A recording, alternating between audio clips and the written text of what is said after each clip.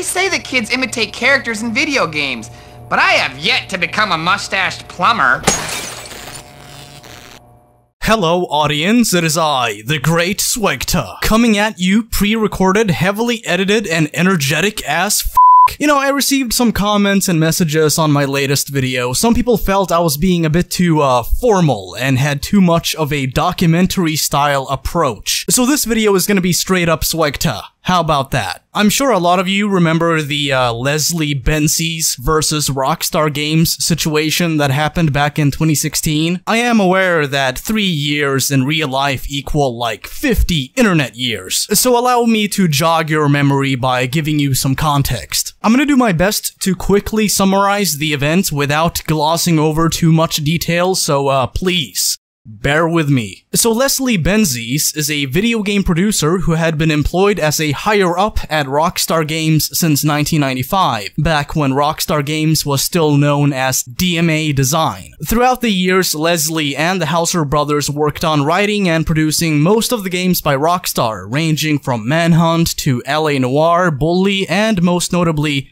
Grand Theft Auto. Leslie Benzies' main involvement with Rockstar Games has always been with Rockstar North. One year following the release of Grand Theft Auto 5, Leslie decided to take some time off. And a couple of years following this, it came to light that Leslie had left Rockstar Games. And a few months following this, Benzies filed a lawsuit against Rockstar Games, claiming that other higher-ups at the company had convinced him to take a sabbatical leave, at which point they, quote, sought to force force him out of the company and terminate his portion of royalty payments based upon arbitrary actions by the company's royalty allocation committee, a committee that may or may not have actually ever met. So after returning from his leave to resume work at Rockstar Games, Leslie found himself unable to enter the Rockstar North office building. After being led inside by building security, Mr. Benzies was then ordered to leave by the Rockstar North office manager without a reason. Rockstar Games then released released the following statement. Leslie Benzies was a valued employee of our company for many years. Sadly, the events that culminated in his resignation ultimately stem from his significant performance and conduct issues. Despite our repeated efforts to address and resolve these issues amicably, both before and after his departure, Leslie has chosen to take this route in an attempt to set aside contract terms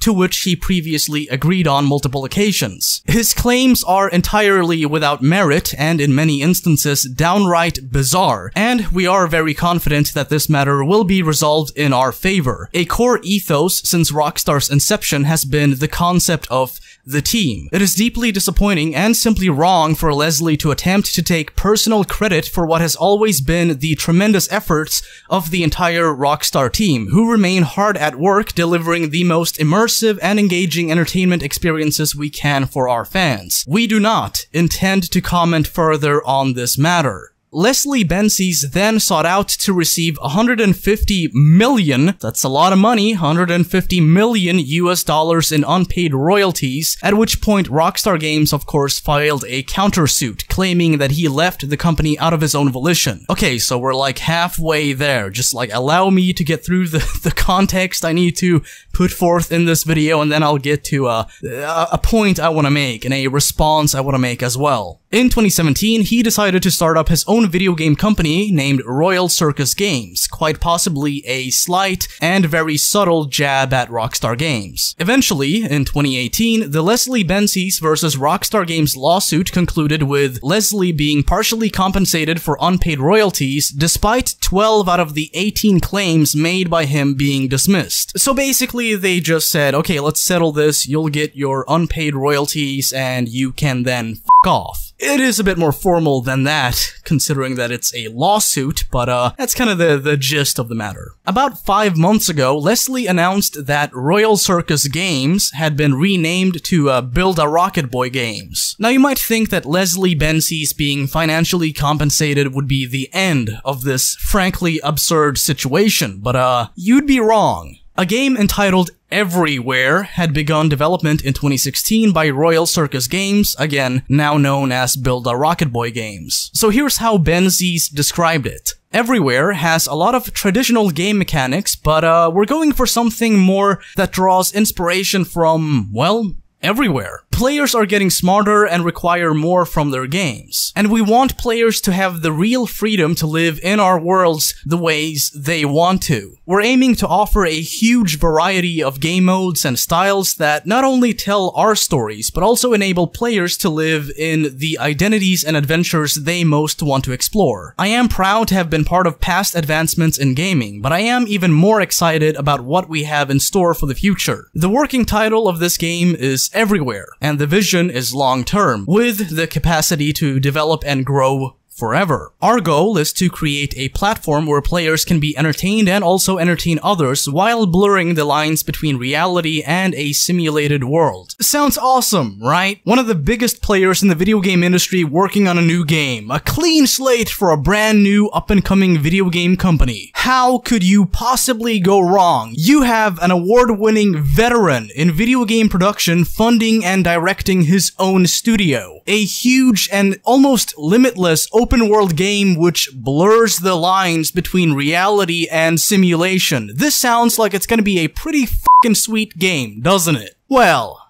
that is until you, uh, hit the fast forward button to 2019. Grand Theft Auto pioneer accused of poaching staff in court battle. Leslie Benzies, the former president of Rockstar North, who is widely credited with the success of the critically acclaimed Grand Theft Auto franchise, is mired in a US court fight with the game's publishers over millions of pounds in unpaid royalties. In the letter filed with the New York Supreme Court, Dale Cendali, an intellectual property lawyer at the New York legal outfit Kirkland and Ellis, accused Royal Circus Games, which was renamed Build a Rocket Boy Games in October of having quote, attempted to solicit Rockstar Games RSG employees. It appears that Royal Circus Games may have targeted these employees based on knowledge of confidential personnel and business practices only available to it because of the former RSG employees' prior employment at RSG. Cendali suggests that Benzies and his colleagues had tried to deliberately hoodwink consumers into believing that their new firm was affiliated with Rockstar Games. The choice of the Royal Circus Games trademark, which shortens to RCG and will presumably use an R design logo, is clearly intended to cause confusion with the RSG trademarks and mislead consumers into believing that there is an affiliation, connection, or association between RCG and RSG. Christopher Bakes, a lawyer with the California firm, dismissed Take-Two's arguments. Quote, Do you have a particular basis on which to make this extreme charge? Do you presume that all new tech and entertainment hires are just ruses to get confidential information belonging to others? Please, let me also remind you that your clients' companies are not feudal estates where worker movements can be controlled and harassed.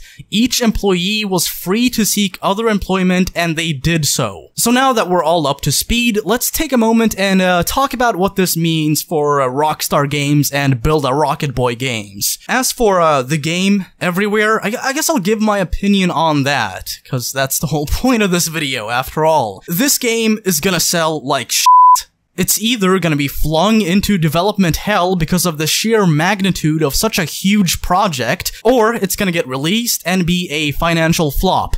I can just tell. I can just tell that this is not gonna be a successful endeavor for Leslie Benzies or Build a Rocket Boy games. As a matter of fact, let's let's take a look at the official everywhere social media pages. I'm sure you'll see what I mean.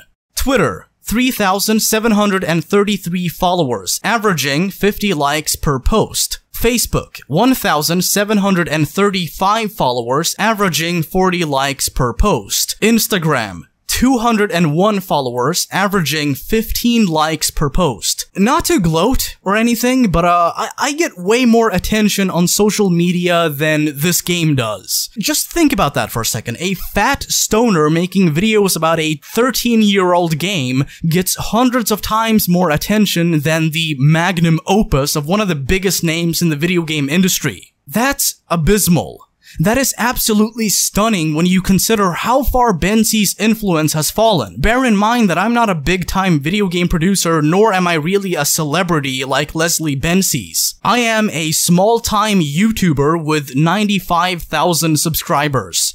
And even I get way more exposure on social media than Build a Rocket Boy does. Leslie Benzies is a very talented video game producer and writer, credited in some of the most best-selling and record-breaking video games to ever be created. Me?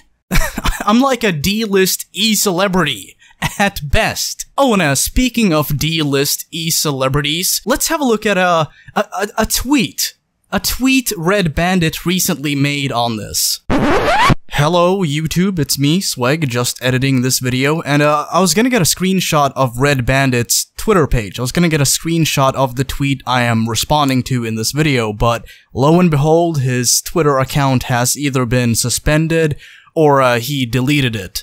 I don't know which, I don't know what happened, but it's gone, but thankfully I do still have the uh, quote in text, so I'm not gonna be able to show the actual tweet, but uh, yeah, just thought I'd clear that up before I proceed with the video. Anyway, enjoy. And yes, I know that a lot of people have mixed feelings about the guy. I've seen some people complain about the fact that he doesn't listen to feedback from his fans, and blah blah blah. Thinking of making another channel dedicated to Red Dead Online. A fresh start for non-news related content. What do you think?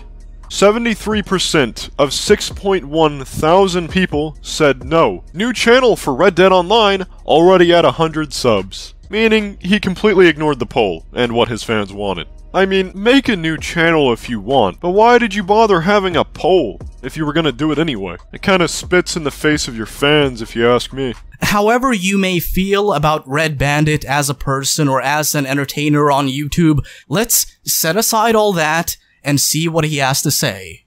I have so much faith in Leslie Benzies and his new company set to rival Rockstar Games. I must admit that his departure from Rockstar Games post-release of GTA 5 is suspicious, and since then Rockstar have certainly partaken shady shit.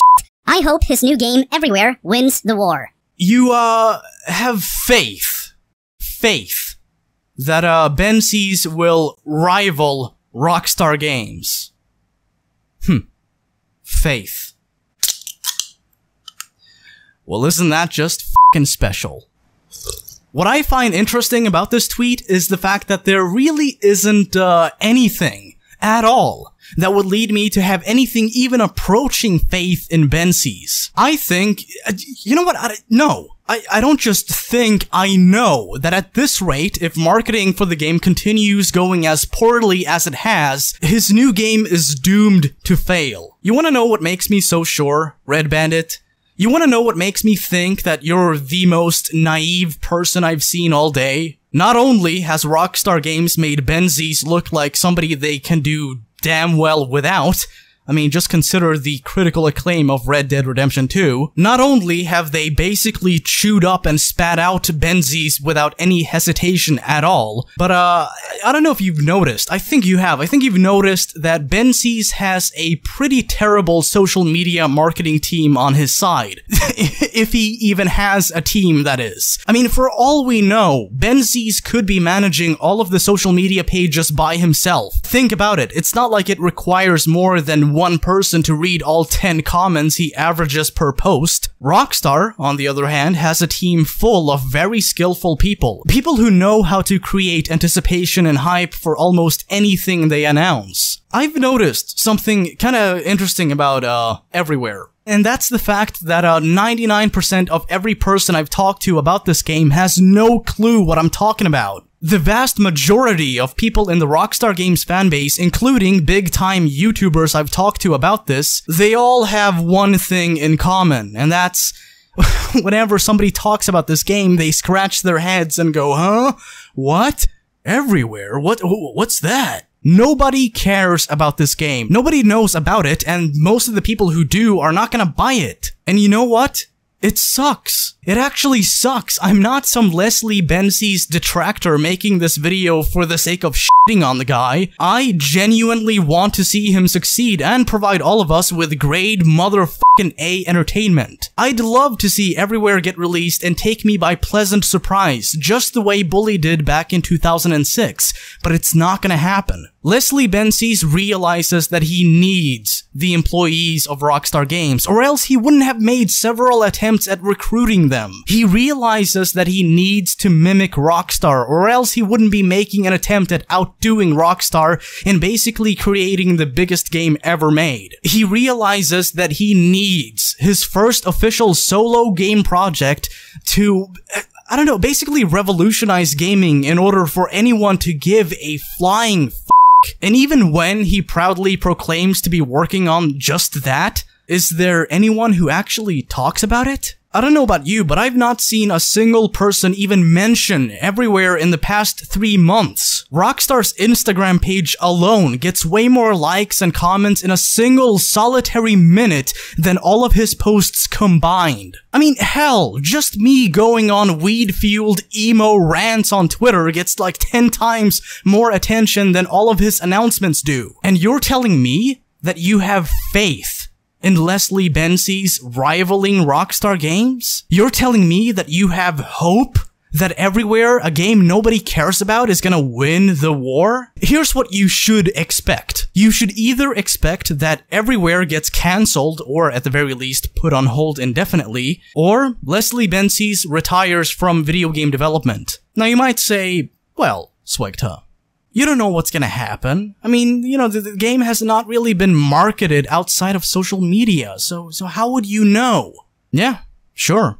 Maybe you're right. Maybe I am being unrealistic. But hey, at least I don't allow naivete to make me think that there's a snowball's chance in hell of Leslie Benzies ever succeeding again. You know, Red Bandit, it's kind of funny to me. It's kind of funny how you go on and on about how badly Rockstar's doing with Red Dead Online, and, and you are right about that to some extent at least. The part that amuses me about all of this is how you're perfectly able to detect failure on Rockstar's part when their online mode has a very lukewarm reception. But the thing that amuses me and actually confuses me as well is how you're unable to detect failure when it comes to one of the most influential video game producers of all time averaging 20 to 50 likes per post. Either you are unbelievably biased or you're incredibly naive.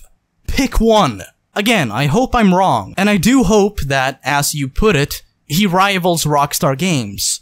but I most definitely don't have faith in any of that. Have some goddamn faith!